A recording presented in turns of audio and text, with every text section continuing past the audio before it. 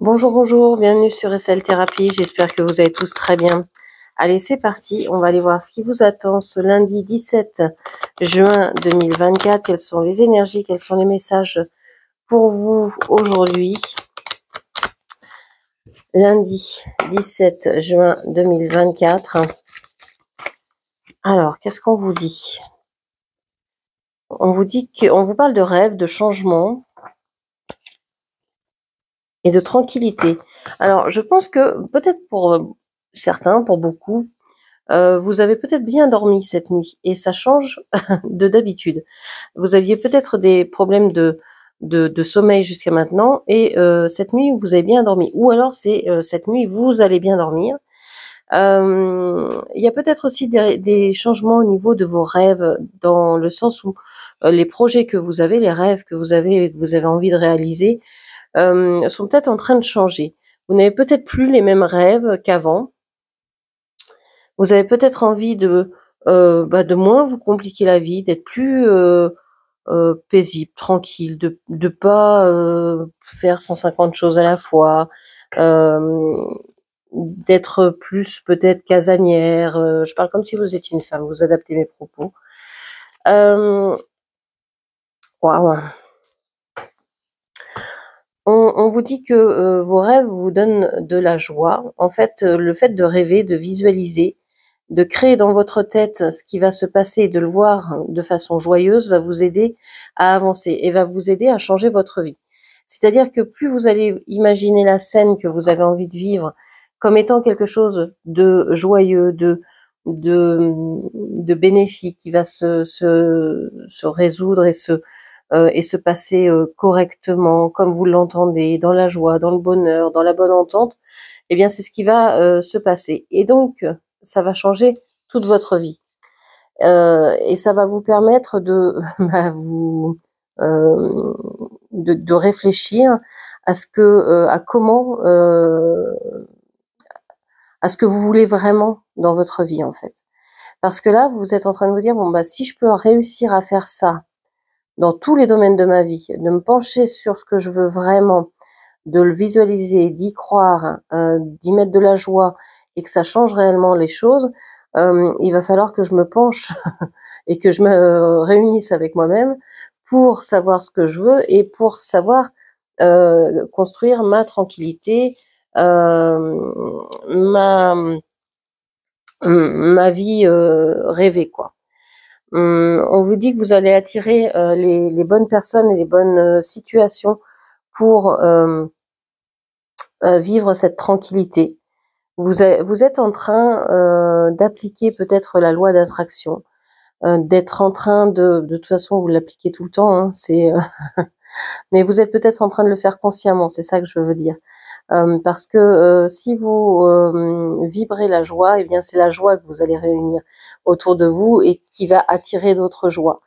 Et en fait, c'est ça que, vous êtes en train de faire. Vous êtes en train de vous apercevoir que depuis l'état où vous êtes, si vous vibrez, quelle que soit la, sensation, l'émotion que vous vibrez, va vous attirer exactement la même chose. Donc autant que ce soit de la joie, du bonheur, de l'amour, euh, plutôt que de la haine, etc., euh, etc. Ok. La maison, les contrats. Ah, il y a, hum, vous avez envie peut-être de changer de, maison, de mettre un, un, contrat sur la table, c'est-à-dire de peut-être de changer de bail, de changer euh, de vendre une maison, de louer une maison, euh, d'acheter une maison, de déménager. Euh, vous avez des projets par rapport à une maison. Vous aimeriez concrétiser ces projets-là. Et ça, c'est pour l'instant, vous êtes dans une incertitude. Vous ne savez pas ce qui va se passer par rapport à ce logement. ça peut être aussi, ça peut correspondre à, à, un logement, une maison, une habitation, un appartement, etc. Ça peut aussi parler de euh, ce que vous, vous ressentez pour euh, vous, pour votre euh, personnalité.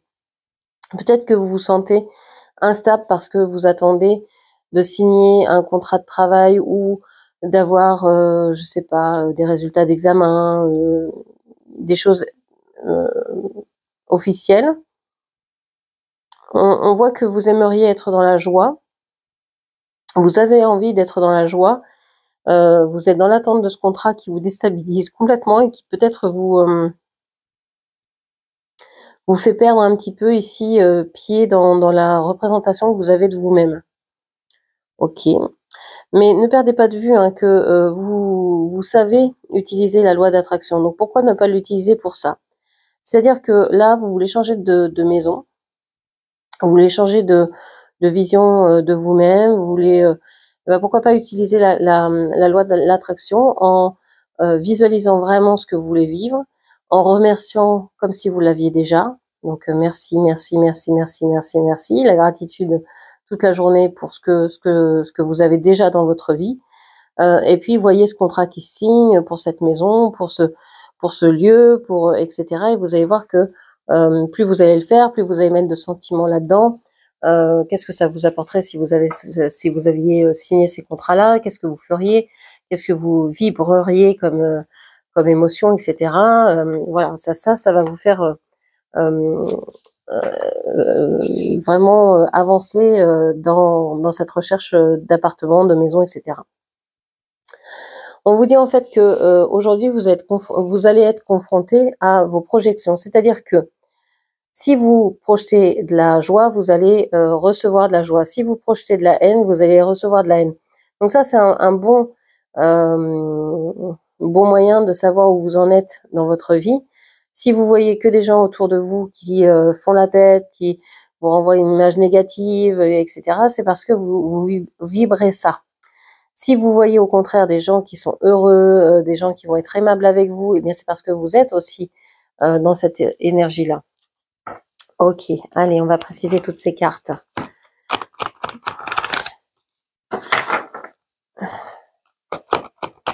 17 juin lundi 17 juin 2024. Allez, sur le rêve, on a la surprise. Vous avez peut-être euh, découvert quelque chose aujourd'hui. Vous avez peut-être découvert quelque chose au niveau sentimental euh, et qui va vous dire mais, en fait euh, j'ai envie, c'est mon rêve maintenant, peut-être de me marier, de faire couple, d'emménager avec quelqu'un, ça, c'est le rêve que j'ai euh, aujourd'hui. Et c'est une surprise parce que euh, vous ne pensiez certainement pas euh, avoir cette idée-là. Vous étiez peut-être déjà engagé ailleurs, dans, un autre couple, dans un travail, dans, autre chose, tourné vers autre chose. Et là, vous dites, ben non, en fait, moi, ce que j'aimerais, c'est ça, c'est réellement ça, et c'est mon rêve, et c'est surprenant parce que j'ai jamais eu ces idées-là. Euh, ou bien euh, c'est le contraire, ici on, on, a la cage qui s'ouvre, vous avez peut-être envie de, de, sortir de votre cage justement, de vous libérer euh, de dogmes, de, de, croyances que vous aviez euh, pris comme vôtres. Euh, vous étiez peut-être enfermé derrière des, euh, comment dire, derrière des mots, derrière des, des choses que vous n'aviez pas forcément définies, que vous n'aviez pas forcément compris et, et, là, vous vous en libérez, vous dites, mais oui, mais voilà, c'est, euh, j'ai envie d'aller vers autre chose, de m'ouvrir, euh, de trouver la paix, de changer en fait. Je veux plus de conflits, je veux plus de, je veux plus que ce soit des rêves. Maintenant, je veux, je veux mettre ça en pratique. Je veux que ce soit concret dans ma vie. Sur les changements, on a la fidélité. Alors, vous, vous voyez la fidélité d'un autre œil en fait.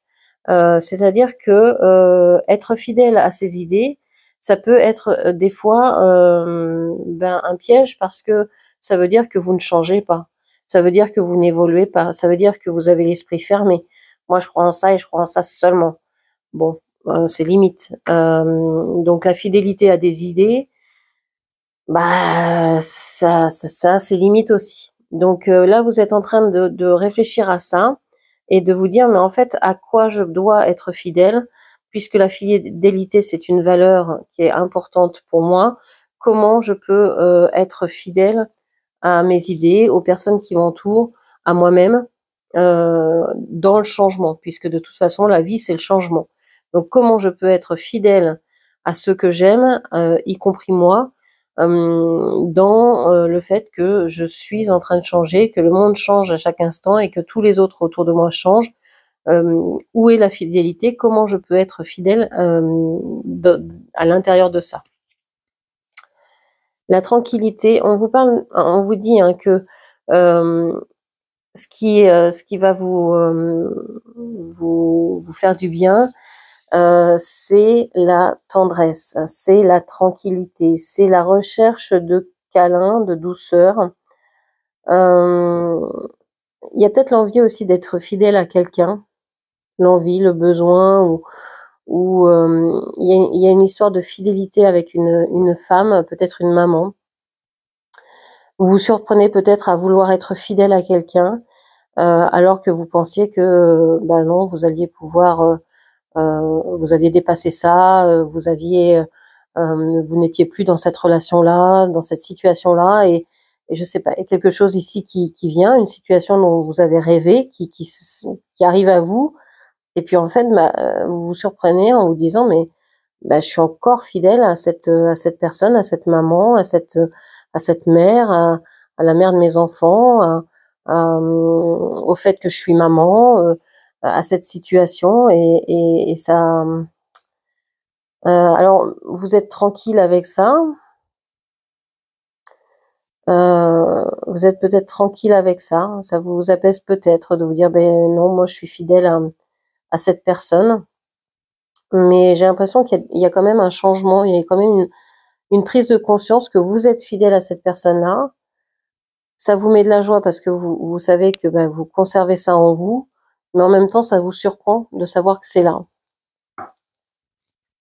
C'est un peu étrange.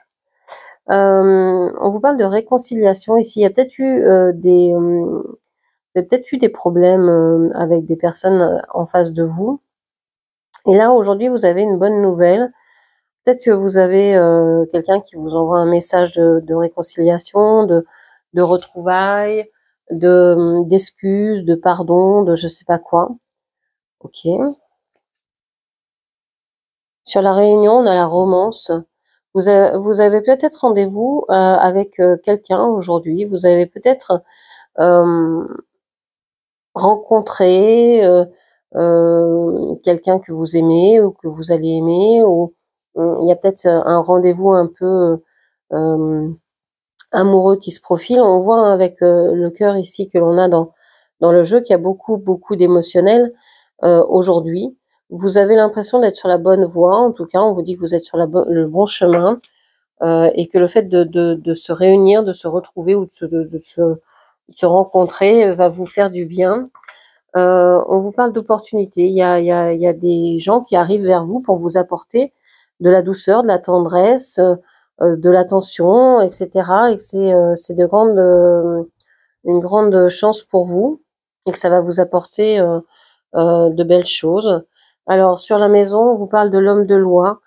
Euh, alors méfiance ici par rapport à la maison. Il y a peut-être un notaire, il y a peut-être un avocat, il y a peut-être quelqu'un comme ça qui représente euh, l'administration, la loi française ou je sais pas quoi, la loi en général. ça peut être quelqu'un aussi d'assez froid, d'assez autoritaire. Peut-être justement un propriétaire, etc. Euh, cette personne avec euh, ce roi de d'épée euh, va peut-être vouloir vous la faire un peu à l'envers. Donc faites attention si vous devez signer des contrats à bien regarder toutes les lignes, toutes les phrases, tout ce qu'on vous tout ce qu'on vous propose. Alors ça peut être aussi par rapport à une assurance, par exemple, par rapport à euh, faites attention à ce que vous signez, à ce qu'on vous propose, à ce qui est écrit. Ok. L'ami sincère sur le contrat. Euh, on vous dit que oui, un contrat peut vous aider à vraiment mettre les choses euh, en place, euh, peut vous aider à, à bien cadrer les choses, à bien définir ce que vous voulez ou, ou non, à vous donner une base d'entente avec quelqu'un. Ok. On a la maladie sur l'instabilité. Euh, il y a peut-être quelque chose ici qui vous perturbe. alors, est-ce que vous êtes malade? Est-ce que vous êtes, est-ce que vous ne vous sentez pas bien aujourd'hui? Est-ce qu'il y a, est-ce que cette maison vous rend malade? Est-ce que ce contrat que vous avez signé vous rend malade? Hum, Est-ce que vous ne vous sentez pas bien dans votre corps et que c'est pour ça que vous avez l'impression d'être d'être d'être malade? Ok. Sur les projections ici, on vous parle de solitude. si vous pensez hein, que vous êtes seul pour faire les choses, bah, c'est ce que vous allez euh, c'est ce que vous allez vivre. Euh, pour moi ici avec la reine d'épée, il y a beaucoup de méfiance de votre part. Vous vous méfiez des autres en fait. Il n'y a pas cette ouverture de cœur euh, que vous devriez avoir. Il y a une espèce de vous vous refermez en fait. J'ai l'impression que vous voulez être fidèle à quelqu'un, alors à quelqu'un soit dans un souvenir, soit dans le passé, soit liés à, au passé ou aux souvenirs, qui sont la même chose. De toute façon, les souvenirs, c'est déjà du passé. Mais est-ce que c'est une personne qui n'est plus? Est-ce que c'est euh, une époque qui n'est plus? Est-ce que, enfin voilà, euh, vous, vous, voulez être fidèle à ça, mais c'est plus possible parce que ce n'est pas le même moment. Ce moment-là, il a été, mais il est plus. Être fidèle à, ces personnes, à ces moments-là, ces instants-là, c'est être fidèle à des fantômes en fait. C'est donc il faut lâcher ça, il faut réussir à ouvrir. Donc euh, peut-être que c'est ça qui vous crée des conflits intérieurs, disant ben oui mais si je, je laisse partir ces fantômes-là, est-ce que je reste fidèle à ces personnes? Eh ben oui, parce que du coup vous les laissez continuer leur chemin et vous vous continuez le vôtre. Donc euh, c'est des fois il faut plus de courage pour lâcher prise que pour de rester accroché. Euh, et là la prise elle est elle est la peur de de, de, de, lâcher ces personnes-là, la peur de pas revivre ces moments-là. Mais si vous lâchez pas la main des personnes qui vous ont lâché ou qui ne sont plus là, comment voulez-vous euh, atteindre d'autres personnes? Euh, Donc c'est euh, c'est ça qui est important ici. Alors on a trois cartes. On vous dit l'argent ne fait pas le bonheur, mais l'argent attire l'argent. C'est comme tout, hein, comme toute énergie. Hein. Le bonheur attire le bonheur. Euh. si euh, l'amour attire l'amour, etc., etc. Hein. Si tu continues de penser que tu as besoin d'argent, alors tu continueras d'attirer le besoin d'argent. Tu dois trouver le moyen d'être heureux maintenant, de te sentir bien maintenant, de ressentir la joie maintenant, indépendamment de l'argent, car ce sont ces merveilleux sentiments qui l'attirent. Voilà, donc euh, sentez-vous heureux maintenant. Remerciez euh, pour ce que vous avez déjà aujourd'hui. Euh, soyez dans la joie dès aujourd'hui, dès maintenant, de ce que vous avez, de ce que vous vivez, d'être en vie, tout simplement. C'est déjà hyper important. Sinon, vous ne pourrez pas faire l'expérience que vous faites aujourd'hui. plus tu t'élèves, plus tu élèves le monde. Parce qu'il n'y a aucune limite aux pensées positives que tu peux créer aux paroles bienveillantes que tu peux prononcer et aux actes d'amour que tu peux accomplir, tu peux augmenter ta fréquence à l'infini. En hissant tes pensées au plus haut, tu fais naître une onde de transformation et tu invites le monde entier à s'élever vers la lumière. Ça, c'est hyper important. C'est la carte de la projection dont je vous parlais tout à l'heure. Si vous projetez dans le monde des, des, idées basses, bah, le monde va avoir ces idées basses. Si vous projetez dans le monde euh, des, des, idées plus euh, lumineuses, plus fortes, plus euh, d'amour, etc., eh bien, vous allez influencer les personnes autour de vous qui vont en faire autant et ça va faire boule de neige et c'est tout le monde qui va rayonner différemment. Donc ça, c'est hyper important d'être dans des énergies hautes et, de, de vibrer ça. Vis d'abord ton rêve à l'intérieur de toi. Visualise ton rêve et ressens-le dans ton cœur jusqu'à ce qu'il devienne une réalité palpable pour toi. Ensuite, il se manifestera dans ta vie avec éclat. Donc plus vous allez visualiser ce que vous voulez vraiment, plus vous allez y mettre du sentiment, de l'émotion, plus vous allez le voir, le, concrétiser dans votre tête comme si vous le viviez, plus vous avez de chance et plus vous allez avoir la chance de le vivre en vrai. Allez, un dernier petit message qui a sauté. Ferme les yeux et dis-toi que tu mérites de te sentir joyeux. tu peux autoriser la joie à entrer dans ta vie, quelles que soient les circonstances dans lesquelles tu te trouves actuellement. La joie, c'est pas une option. Voilà. Dites-vous ça. La joie n'est pas une option. Euh, vous avez le droit à la joie. Peu importe ce que vous traversez dans votre vie, vous avez le droit au bonheur, à la joie et à l'amour. Donc euh, voilà, autorisez-vous à avoir ces moments de joie. Euh, peut-être que vous êtes encore coincé hein, avec avec des personnes parce que vous avez envie d'être fidèle à ces personnes-là, etc. Mais vous, vous avez le droit aussi d'être heureuse, d'être heureux.